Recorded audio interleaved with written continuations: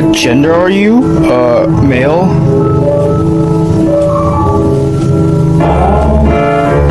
Attracted to. you prankster! you silly! Still male though.